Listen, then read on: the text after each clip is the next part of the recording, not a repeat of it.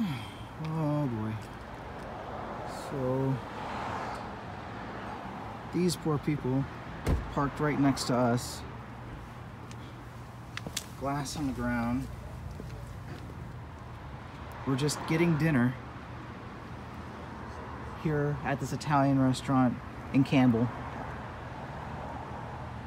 And they had their windows smashed out along with another car right next to them that had their car window smashed and laptops stolen out of their car. I don't know what, what they lost,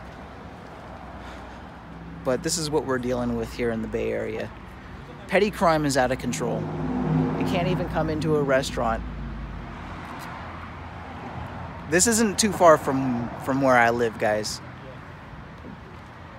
These these these are good people. What happened to them? They don't deserve that. And I don't I don't know about the other car that also happened, but literally we were only out here for about an hour and this happened.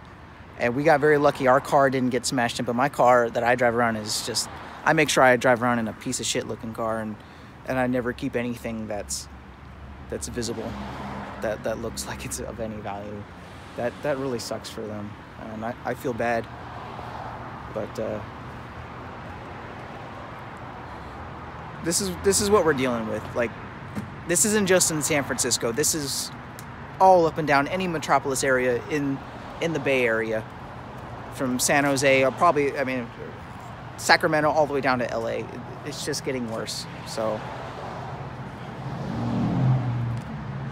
lock your doors and don't have anything visible and shit. Stop voting Democrat.